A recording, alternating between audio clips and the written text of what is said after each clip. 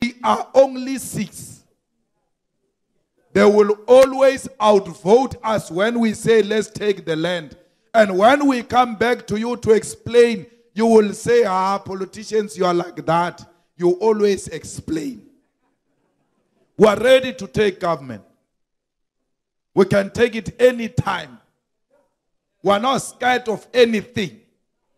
To run government is the simplest thing because you employ people with qualification and you pay them. It's a simple thing. You just hire qualified people and not do this mediocre of ANC of hiring a teacher of geography to be HOD of health. Uh-uh. Uh-uh. You look for the right man and the right woman for the job. Just look at the EFF. We hired a doctor to be a spokesperson. A doctor. The highest form of qualification. This journalist here, when they go to question him, they think twice. For because he's qualified more than them. They know that he knows his story. But when you hire Malambana to be a spokesperson, they will just run all over that person because they know this fellow is challenged. But once you hire the best of the best, we will run this PE. We can run it successfully. We would have gone into an alliance with the ANC to run PE. But we said one thing first. And South Africa doesn't seem to appreciate that. We said to the ANC, give us Mcebisi Jonas or anything close to Mcebisi Jonas, which has got a history of fighting corruption. Right? Till today, the ANC looked inside. They even turned their back upside down. There is no one who is close to Mcebisi Jonas. Hey, you don't see that as an opportunity to expose a new dawn. That even a new dawn doesn't have a person who is corrupt free. But I snikeze wena umuntu. Because they checked inside there. There's no one. No one. We have exposed them that a new dawn is actually an old dawn. And it's not even in a new bottle of dawn lotion. It is in the old dawn bottle. There's nothing new about Ramaphosa. There's nothing new about the ANC. The ANC begged us. They said to us, don't give us PE, don't give us Tshwane, maybe Joburg. Why? Because there is no ANC, coherent ANC in Tshwane, in PE. They still have some remnants of something like that in Joburg. That's why they are asking for Joburg. They've said you can take PE and Tshwane. The new dawn is unable to produce the new camphor. So there is a problem here. We have a problem. But let me tell you, we're not going to vote for Trollip. And I want Trollip to continue leading. I don't care. As long as he is leading without the mandate of the EFF, so that we can give a historical account of why we withdraw our vote. If he wins, there's no problem. There will not be a war. It's a democracy in action. Tomorrow, we must be there in our numbers to support our councillors. If anyone wins, we leave peacefully to our home, but would have officially withdrawn our vote.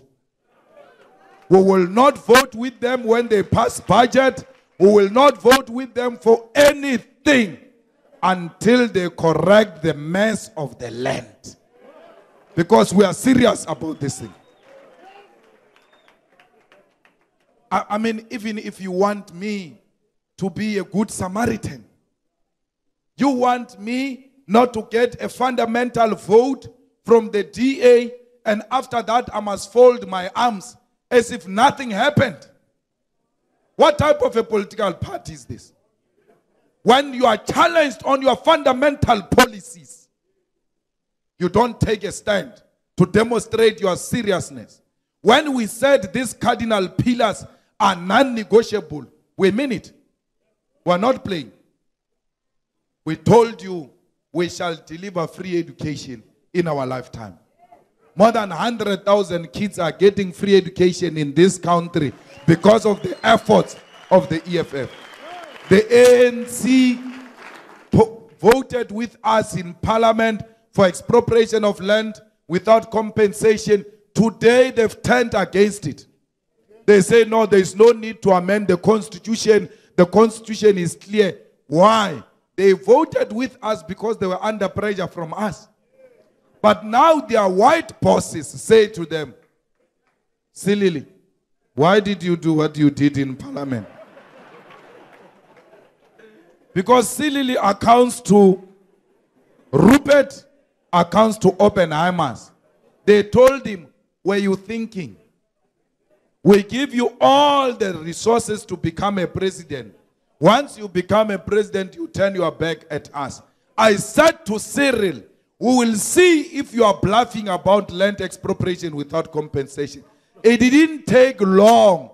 Already now they are saying, ha ha ha we didn't mean expropriation. We mean land redistribution within the food parcels and what? I don't hear what they are saying.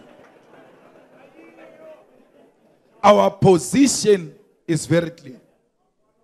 We don't want any piece of land to be paid for because it was taken by force, it was taken through genocide. And people say, no, uh, what about traditional leaders? We need to democratize the process of uh, traditional leaders when it comes to distribution of land in the rural areas. Because some of our traditional leaders even refuse to give women land.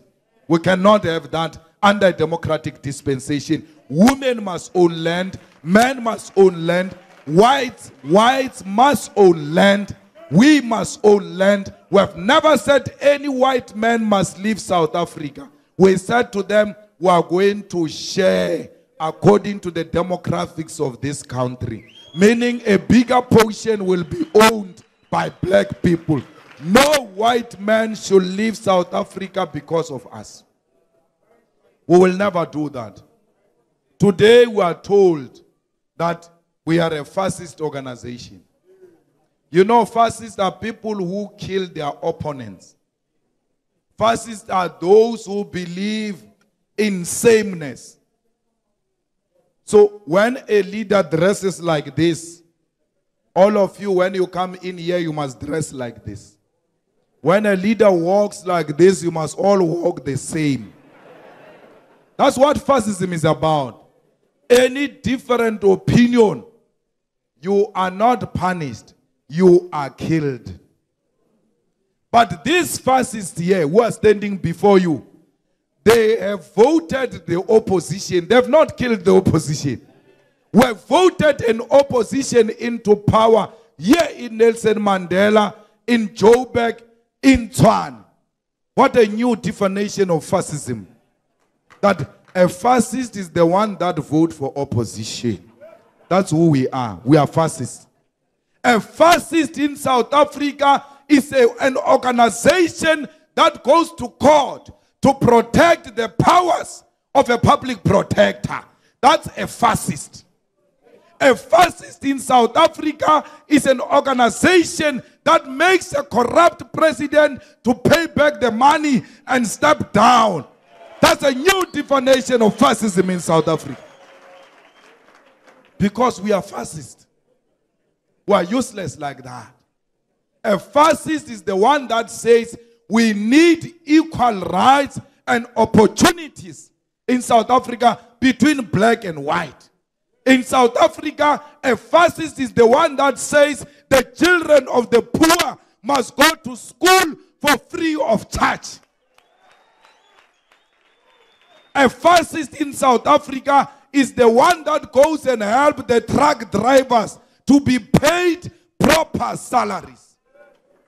They say to me, you said you will kill for Zuma and then you changed and then you apologized. Therefore, you are a fascist. But Ramaphosa never said he's going to kill for anyone. He said he needed and concomitant action against the workers in Marikana. They were